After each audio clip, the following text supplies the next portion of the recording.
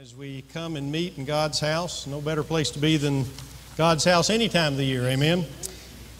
Well, a little boy was 10 years old and he made a call to the local hardware store. And the owner of the hardware store answered, and the little boy said, uh, Yes, I was wondering if you wanted to hire somebody to sweep in front of your store, uh, clean your windows, clean the aisles in the store kind of spruce up back there at the loading dock and uh, clean the flower beds in front of the hardware store. Well, the owner of the store said, Well, thank you, young man. Uh, said, Appreciate you asking, but we already have a, a young boy that does that. His name's Johnny, and he does a fantastic job of doing all those things. And we couldn't even dare think of ever replacing him because he does so well. The little boy on the other end said, Well, I know this is Johnny. And the owner said, Well, Johnny, why on earth would you be calling? He said, Well, I always think it's good every now and then to check up on yourself. you know, I think this last Sunday of the year, I think it'd be pretty good for us to check up on ourselves. Because a lot of times we just have a tendency to think we're all right. Sometimes we think we're all right physically until a doctor tells us otherwise because we went to the doctor for a checkup. And sometimes we're that way spiritually until we take time to check out just how are we doing. And so this morning the sermon is when your spiritual get up and go has got up and went. Because no matter how long you've been saved, You've gone through times maybe where your spiritual life just, just needs a little spark, what we may call a revival. You know, you do that way physically, don't you? Isn't there sometimes in your physical life you just don't feel as good as you once did? You feel like, man, if I could just feel a little more energy, I'd be all right physically. Well, it's the same way spiritually. Now, some people never get a spiritual get up and go because their spiritual get up and goes never got up and went because they've never been saved. But once you've been saved, you've got that spark. You've got you've been born again. That means your spirit is alive. But even once it's alive, we do go through periods in our time, our life to say, you know, I just need to get more on fire for the Lord. And you wonder, how do I get that to happen? Do you just say, okay, spirit, get going? Well, no more than you tell your physical body, well, let's get going. There's some things you've got to do. There's some things to focus on. And I think Luke 7 36 through 48, I believe, gives us the answer to that dilemma. If you face that this morning, that I just need a little spiritual revival in my soul, how can I, how can I get it cranking up? well, the first thing we're going to look at in this story is the setting. This story begins in verse 36. And it said, Now one of the Pharisees was requesting him, that's Jesus to dine with him, and he entered the Pharisee's house and reclined at the table. Now, in verse 40, we'll find out that this Pharisee is given a name, and his name is Simon. Not to be confused with Simon Peter, but Simon the Pharisee. And so we are given direct information to know whose house this is. And this Pharisee has invited Jesus to come and dine with him. And you can see how dining took place back then. You reclined at the table. You didn't sit at the table. You know how your parents always say, sit up straight and don't slouch and whatever. Well, back then you got to kind of lay down and eat. Eating and laying down at the same time. We should adopt a little Israel culture, amen? Because that's a good way to eat, relax and lay down. And so he's got Jesus at his table and he's dining, and this Pharisee is uh, having Jesus. No, we don't know the reason he invited him. Uh, the story, the Bible doesn't tell us that. So we're not even going to speculate on why he invited him. Other people we can see tried to trick Jesus, and that may or may not have been Simon's motive for inviting him. And then we've got the sinner. The sinner. Verse 37 And there was a woman in the city who was a sinner. And when she learned that he, that's Jesus, was reclining at the table in the Pharisee's house. So she shows up. Matter of fact, later on, the owner of the home, Simon, he even says, she is a sinner. So not only does the story tells us she is a sinner, the owner of the house points her out later on in this passage and says, she's a sinner. Wow. This woman's name's never given. We don't know what her name is, and we don't know her profession. But we can hasten to say, as many do, that more than likely she was a prostitute, selling her body, living that immoral lifestyle, and may again, that may be why the people that were there could quickly identify her as a sinner because of how open her immoral lifestyle was. So, what was she doing at this party of a religious leader, a Pharisee, and Jesus and other guests? Well, obviously, we know she wasn't invited. No Pharisee would ever invite, since they felt like they were such high standing in society, they would never, ever even consider inviting somebody that they would consider of such low standing. So, how'd she get there? Well, back in this time when there was dignitaries, famous people, people that were of high standard and dignity and things, when they had a party, people in the community wanted to come hear what they had to say so you could come into the house and just kind of observe the conversation, watch the people eating the meal, and glean some things for those that spoke at a gathering. So they were kind of open invitation, so to speak, for people to come and hear. And when she found out through somebody that Jesus was going to be there, she made sure she wanted to be there. So she came, obviously, very uninvited and probably very much out of her comfort zone. These were not the people she would be running with. These would not be the people she would be fellowshipping with. These are not people she'd be going out to eat with. These be people that would only know her for her immorality. Matter of fact, I believe, as some do, that maybe she got saved even before this event. Jesus ends up saying in verse 48, Your sins have been forgiven. Some believe she got saved during this event. I just have a feeling that maybe she was saved before this event. And this event is an outpour of her gratitude of already being saved.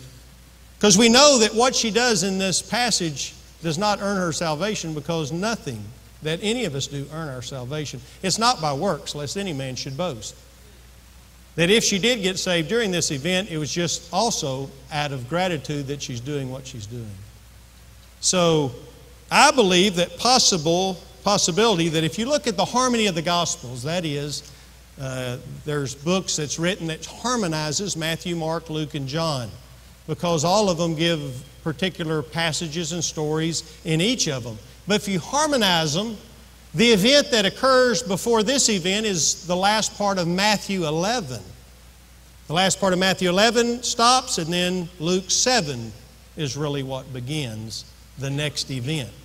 So you say, what happened in Matthew 11? That's where Jesus gives that great invitation that says this Come unto me, all you who are weak and heavy laden, and I will give you rest. Well, that's the invitation for all of us to come to salvation, isn't it? You want rest for your souls? You want to worry about going to hell? You want your sins forgiven? You want to rest in all of that? If you're weak and you're downtrodden, you're desperate, and you're seeking answers, come unto me and I will give you rest. So I believe it may have been at that event that she was in that crowd, and she said, Boy, do I want rest. Boy, would I love to be forgiven of all these sins that I've committed. And it may be there that she turned her life over to the Lord and gave him her life. You know, the next thing indicates the sacrifice that was made. Luke 7:37 says she brought an alabaster vial of perfume and standing behind him at his feet weeping she began to wet his feet with her tears and kept wiping them with the hair of her head and kissing his feet and anointing them with the perfume. Remember, he's reclining. He's got his head and hands up there where the food are, and his feet are kind of lounged out, laying down beside him. And she would not even much dare come to his head or his eyes. She was so humble, she would only approach him at his feet down on the other end. And she goes down there to his feet, standing there, and something begins to happen. She starts crying, weeping. Matter of fact, it says she began to wet his feet. If you study that word wet, it's a Greek word and it kind of carries a connotation to wet like with rain. She wasn't kind of how some people do. You say, You know, I noticed you got a tear rolling down your cheek. She had a floodgate open up. She was so emotional at this time, it was just pouring out. She didn't need a basin to wash his feet. She didn't need a spigot. Her very tear ducts were providing plenty enough water to wash Jesus' feet. And she didn't even need a towel to dry them off because her hair was long enough that she used it to wipe them clean of all that dust and all that dirt. I believe she was just overcome with gratitude for what Jesus had done in her life. That it just broke down. And do you have to break down in tears to be grateful? No. But I believe you do need to have some emotion. Because God made us emotional beings, and maybe not all of us cry. Maybe not all of us share the same emotional outside. But we should for sure feel the same emotion inside that this woman feels when Jesus has saved us. It should stir us. Matter of fact, the Greek verbiage, when it says here that she kissed his feet, if you study that word, it has to do with a continual act. She didn't just kiss. She kissed and she kissed and she kissed and she kissed and she kissed and she kissed and she kissed. She wouldn't stop kissing his feet because of her gratitude of what he had done. And then, other places we see in Scripture that perfume was pretty expensive back then. Whether this bottle was or not, we're not given indication, but whatever it cost her, she poured it on Jesus' feet. Now, if you've studied The Love Languages by Gary Chapman, we call them the love language the love languages, the five love languages. But if you look at them, those are the same languages that you use to tell people thank you. What are they? Words. If you've done something for me that I'm grateful for, I can thank you by simply using the words thank you, or whatever words come to my mind to thank you because of my gratitude. Another one of the love languages, or what I would call also thank you languages, are gifts. Now, I can't tell you, hey, you gave me $15 and here's $15 back because I just nullified your gift for me and I paid you back. I didn't thank you, and you'd be insulted.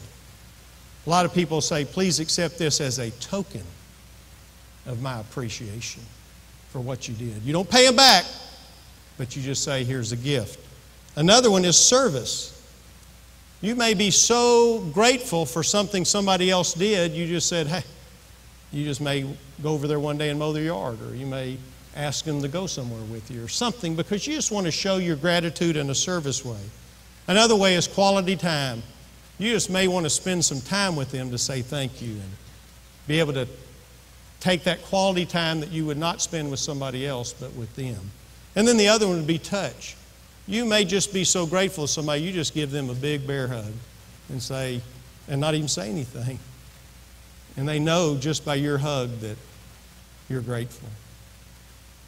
You know, a lot of people, you know, you motivation for Christ has to come from the inside. You know, we could tell people, won't you be more committed to Christ? Won't you be more faithful? Won't you serve more? Won't you love more? Won't you be more on fire for the Lord? And, you know, you just can't do that from the outside. That's something that has to boil up from somebody's inside. You can't make them do that. They've got to want to do that from the inside. And here we see in all this that this woman, it was coming from the inside. Her gratefulness, her gratitude for what Christ had done is just boiling over inside her because she loved what Christ had done for her.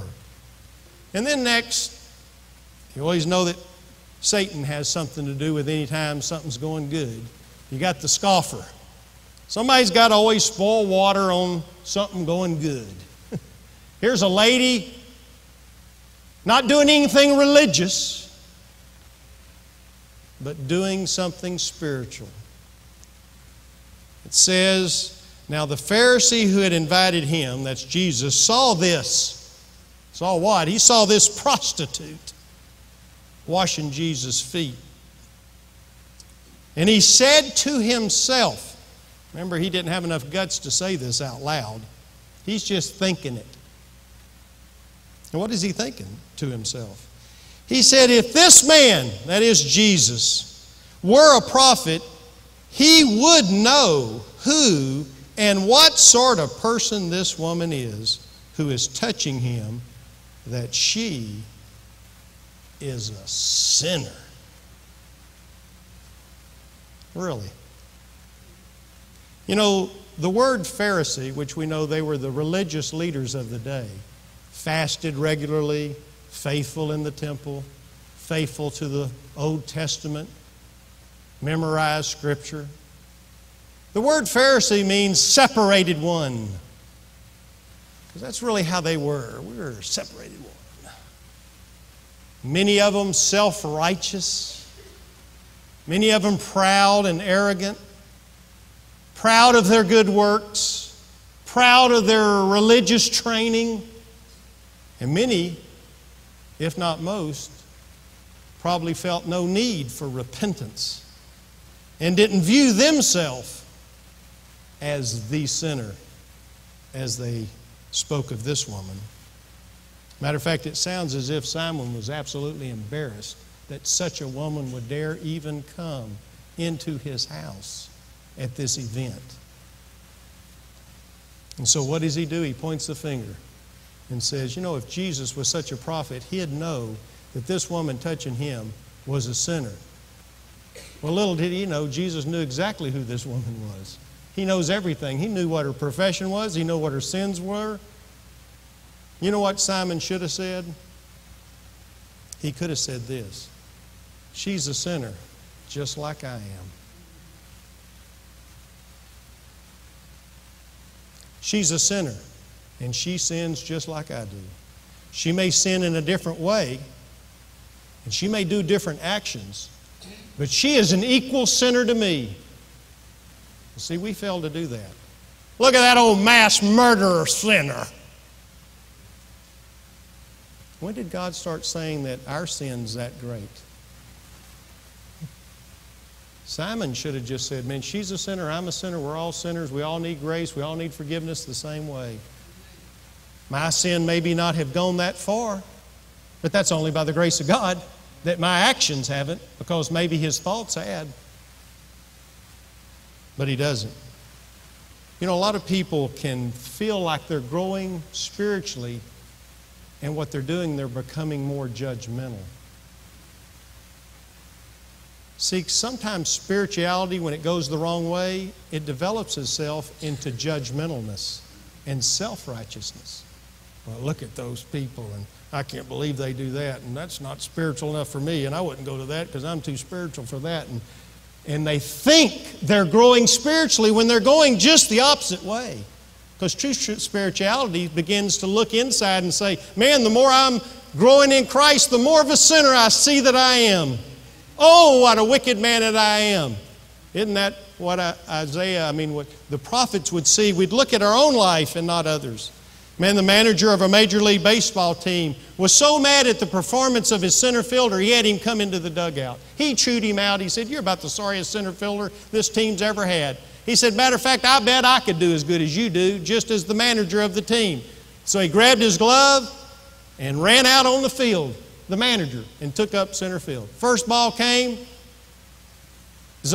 hit the ground, popped up, and it ended up hitting him right in the forehead. Run scored. The next ball was a high fly. He lost it in the sunlight. It went over his glove and boom, hit him right in the eye. Boom, another run scored. The third one was a line drive, and he thought he was going to catch this one, and sure enough, it hit the very top of his glove, and boom, hit him right in the mouth. Almost knocked his tooth out, and another run scored. The inning was over. He ran to the dugout. He took his glove. He threw it on the ground. He ran over that center fielder and said, You idiot, you've got center field so messed up, I couldn't even do anything with it.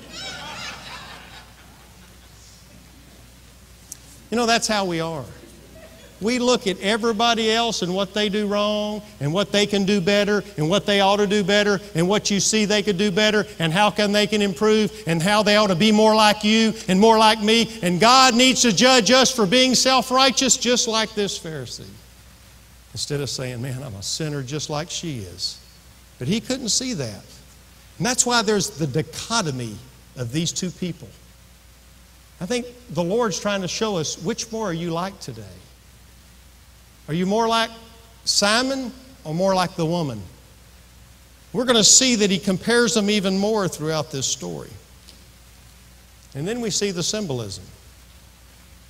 Luke 7:40 and Jesus answered him. Now hold on. Answered him a what? Let's go back just a minute. I don't see a question. Do you see a question? Matter of fact, I don't even see anything here spoken out loud. How does he answer a question that's never been verbalized? Because Jesus reads the heart. See, Simon was saying this to himself, so don't think God doesn't know our thoughts. and he's answering a question that Simon doesn't even ask because he's God. And he answers some questions in our life before we answer them. And Jesus answered Simon, I have something to say to you. I bet you do after what's just happened. And he replied, Say it, teacher. Doesn't call him master. A moneylender had two debtors. One owed 500 denarii and the other 50. They were unable to repay. He graciously forgave them both. So, which one of them would love him more? Wow. I think that question came out of the left field. But it didn't, because he's trying to show a very important lesson to all of us. A denarii was a day's wage. It's what a worker during that society would earn in one day. And so they understood it when he gave the illustration. So let's say today, let's say an hourly worker may work, let's just give it a hundred bucks a day. So if we used the hundred bucks a day illustration, that meant the banker, the money lender, had loaned one guy $5,000 and he loaned the other guy $50,000. Because we know in the illustration, one is given 10 times as much money as the other. So he tells the $5,000 guy who couldn't pay the loan back, he tells him, Your loan's forgiven. You don't need to pay any of that back. Then he looks over here at the $50,000 guy who can't pay his loan back and says, Your loan is completely forgiven. Now, he asks Simon, which one of those two guys would love the money lender more? He's getting to the heart of the problem. Because then we get to the solution. Simon answered. I like to say, Simon says. I just had to do that one. Simon answered and said, I suppose the one whom he forgave more. The $50,000 guy would probably love him more because he got more money forgiven. And Jesus, he said to him, You've judged correctly. In other words, you gave the right answer. That's exactly the right answer. The one who was forgiven more money will obviously love more than the one who was forgiven little money.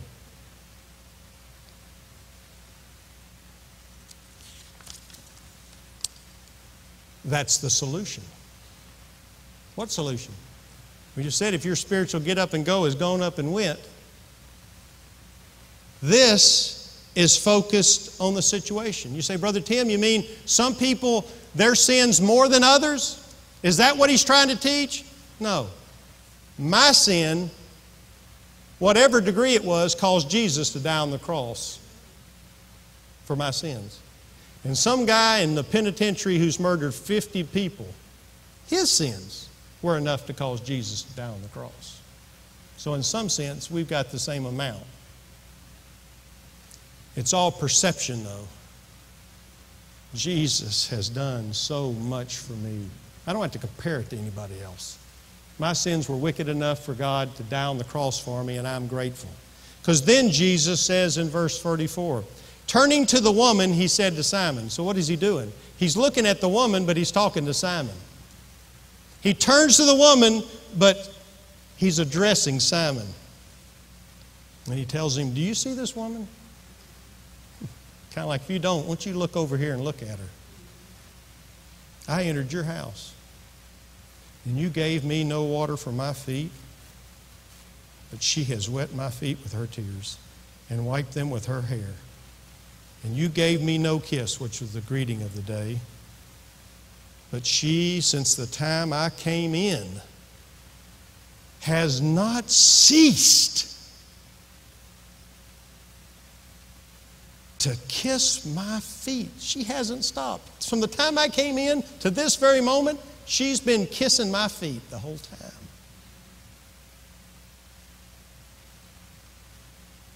And you did not anoint my head with oil, which was customary for the day for a guest, but she, she's anointed my feet with perfume. See, he's trying to show the difference between Simon the religious man of the day, the most probably respected man in that society, probably the one of the most educated in the scriptures, the most loyal to be faithful in the temple, the most probably dedicated to the scriptures and its memorization, and compare that to the woman. And let's see how they stack up. No water for feet, washed with tears. Not a kiss at all. She hadn't stopped kissing his feet. Didn't anoint his head, didn't anoint his feet. And she's anointed his feet not even with oil, with perfume. You know why he was still religious but not loving Jesus? And why she was not religious but loving Jesus? Because she was grateful for what God had done to her. And she wasn't looking like a lot of people So, Brother Tim, I just don't have anything to, to be able to serve the Lord with. I can't sing and I can't teach and I just don't have anything. This lady didn't answer that question. She said, I don't know what I got, but whatever I got, I'm going to thank Jesus with. I got some tears. I got some hair. I got some perfume. That may be all I got because I don't know anything about the Word. I've been a prostitute all my life, but I can do something to say thank you to Jesus. Isn't that what loving Jesus is all about? Is thanking Him for what He's done. And this lady can't get over what He's done. And should we? Everything that she did, He didn't do. Everything that He should have been doing, He didn't do. And here's a woman who probably didn't know a scripture one she wouldn't have known the book of Daniel from the book of Isaiah and probably couldn't even listed those two words. But she was thankful. She was grateful. Matter of fact, you know what the key is to enter God's gates? You want to get close to God, you want to enter His gates. Say, God's got gates? Well, my Bible says He does. It says, enter His gates. Empty handed? No, you've got to get the key to get in the gate. You enter his gates, and I enter his gates with what? Thanksgiving. That's how I enter his gates. I'm like this woman who's grateful for what he's done. Matter of fact, our anthem on Sunday morning as we seek to wake up to serve the Lord, to worship the Lord, may be this I owe, I owe, off to church I go. You know what most people's cry is? I deserve, I deserve, so off to church I want to be served. I don't need to be served anymore. I've already been served by the Lord. It's just an act to be grateful and come to give. I've already received enough, thank you very much. Oh, Brother Tim, you got to? No, whatever He's given me is enough. You don't want any more? You don't pray for a certain thing? Yes, I do, but if none ever happened, if none ever came, what He's already given me is enough to praise Him for till I die. Even just for saving's enough. And so we see as this woman comes to Jesus, and Jesus says this For this reason, I say to you, her sins, which are many, have been forgiven, for she loved much. But he who is forgiven little loves little. Where's the motivation come? If I've lost my spiritual get up and go, if I'm not faithful, if I'm not on fire for the Lord, if I ain't got any get up and go to my spiritual life, where's it all lie? Jesus said to me right here. He made it clear to me. You just love little because you think I've given little. You know, I think I would treat somebody different that says, Brother Tim, here's a piece of bubble gum, versus the guy that says, Brother Tim, I've just paid off your car, your house, and here's a million dollars for retirement. And some people can treat Jesus like he gave a stick of bubble gum when he's given us his life. William Ward once said this Feeling gratitude and not expressing gratitude is like wrapping a present and not giving it. Feeling gratitude and not expressing gratitude is like wrapping a present but not giving it. Brother Tim, I feel a lot of gratitude for what Jesus has done. That's good. Let's kick that into gear. Let's express it. Because if I've done something for you, I don't know that you're grateful if you have to tell me. And if you've done something gracious to me, you don't know unless I tell you that I'm grateful or show you or do something for you. You don't know. I have to express it. Now, no way are we saying that this lady or us do things for Jesus so that he'll love us more. You can't do anything to make Jesus love you more. While I was yet a sinner, Christ died for me and you.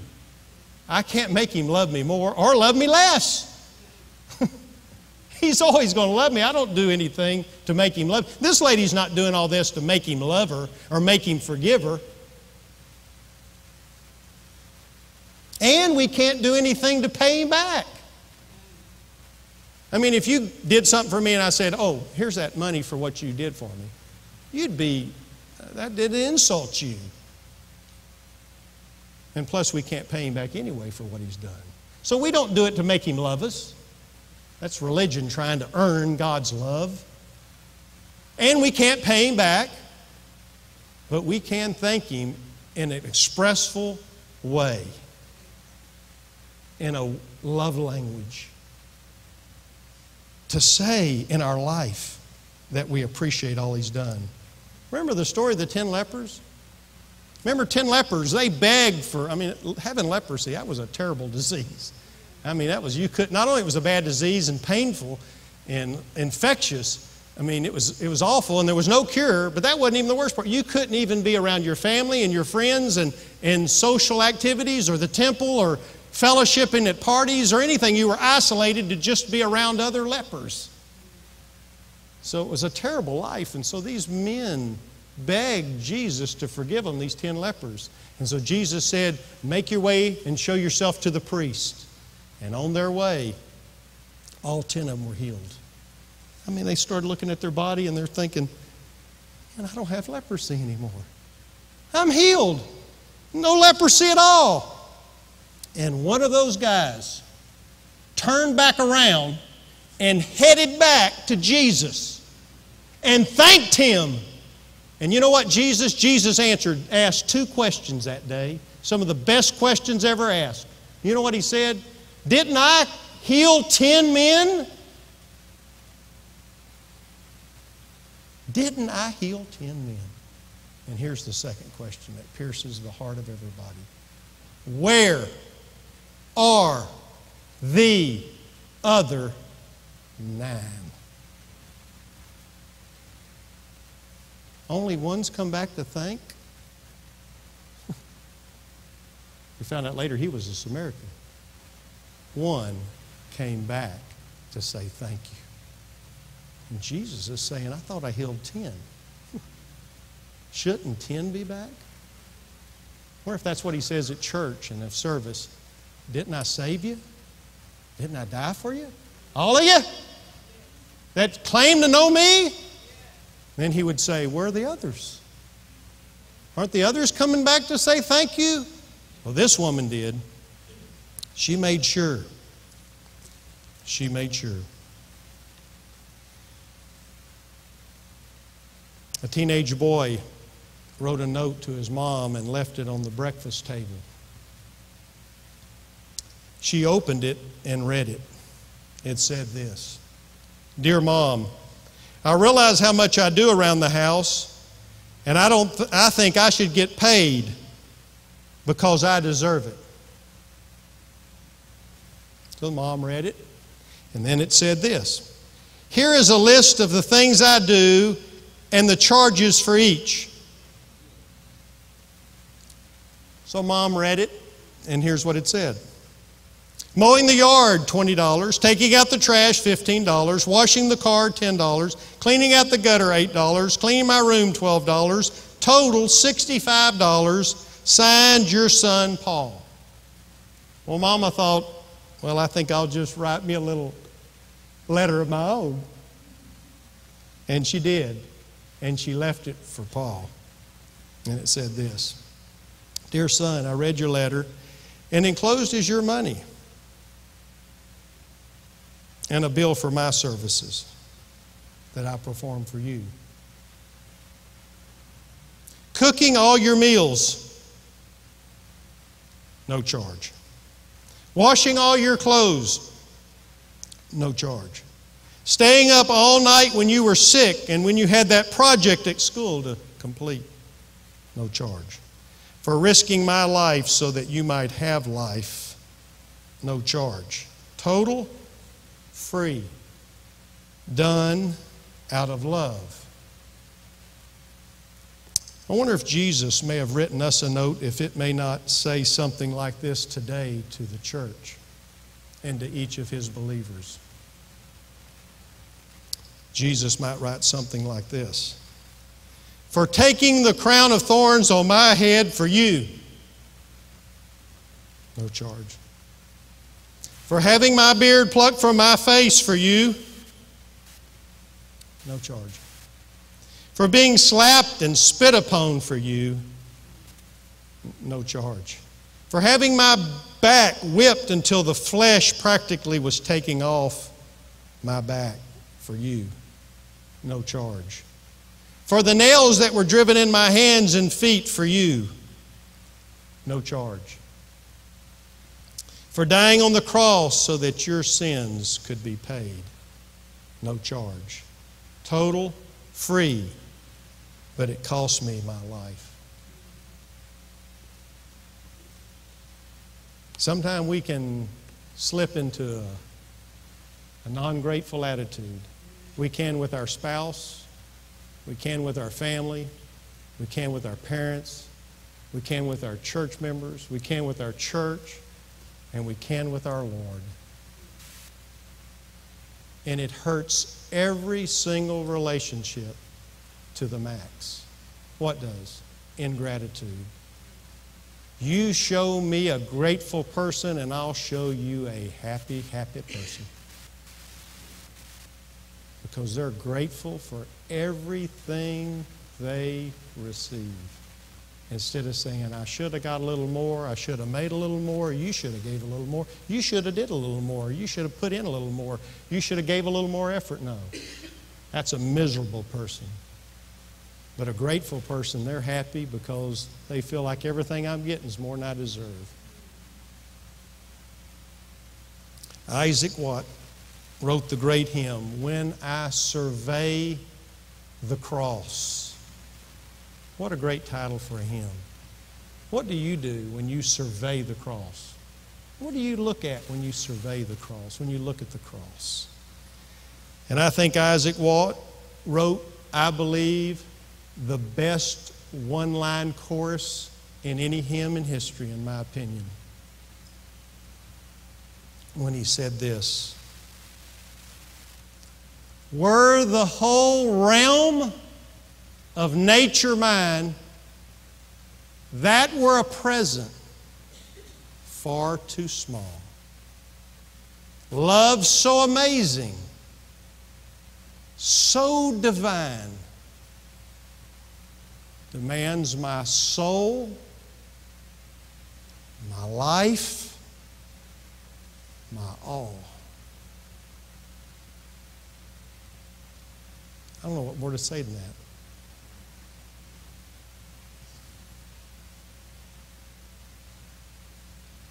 I don't know what more to say.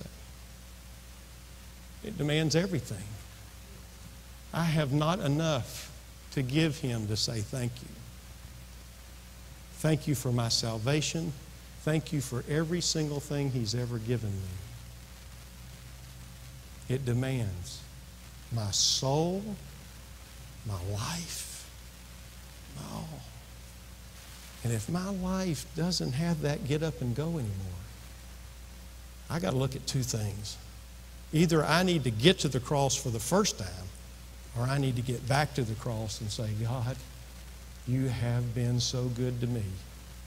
And that's where the inner motivation comes. That's why you see people in love with Jesus, serving Jesus, happy with Jesus, because it's like this woman, not like Simon. He was religious, all right. He was faithful to church, he was faithful to religious activity, but he didn't have any spark, he didn't have any fire, he didn't have any motivation. Because religion wears off, but gratitude for Jesus doesn't. That comes from within. And I know that when my spiritual get up and goes got up and went, it all goes back to what Jesus said right here. He who's been forgiven little loves little. But he's been forgiven much will love much. We go back to the cross and we see, God, how good you've been to me. And we look back at 2015 there's probably several instances where God saved your life, whether you recognize it or not. You may not even know He did, and He did. There may have been some things He kept from your life that until you get to glory, you won't even know what it was that He spared you for, from that you don't even know. And there's ways that you saw that He had favor shown upon you in a workplace, at home, kept you from something, blessed you in some way financially, physically, in some way. It just goes on and on. But we won't see it like Simon, but we will see it if we see it like this one woman who just gave Jesus what she had because she was so grateful. And the whole story focuses around her. Her name wasn't even given, but she was well elevated for what she did, an example for all of us. With every head bowed and every eye closed, as you stand to your feet, invitation's pretty.